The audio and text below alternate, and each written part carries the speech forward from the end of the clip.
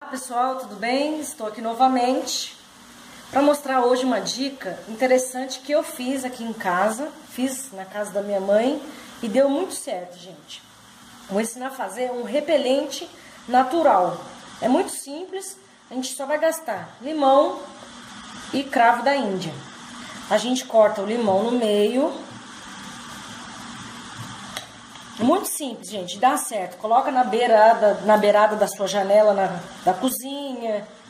Pode até pôr no quarto, na sala, dá super certo. Você vai pegar metade do limão e vai começar a fincar no limão os, os cravinhos, ó.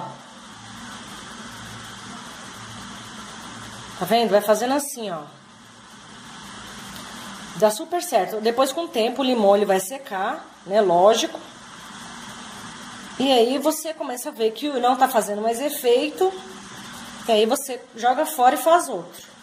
Ó, gente, dá muito certo. Eu fiz aqui e na minha mãe tinha, né, às vezes, né, mosca varejeira, vem de, de fora, mosca comum, esses bichinhos nojentinhos que fica voando.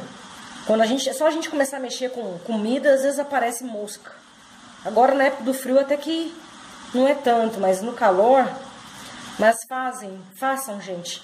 Fazem.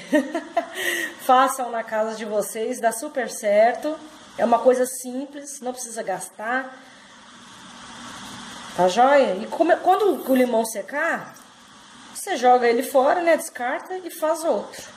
Tá bom? Isso aqui eu ponho no quarto, eu ponho na cozinha, na beirada da na janela, pode colocar na sala. Na minha mãe eu coloco até na sala dela.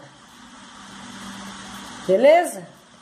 Ó, aí tá uma dica de você fazer um repelente natural na sua casa. Tá joia, gente? Um abração, fiquem com Deus. Até o próximo vídeo.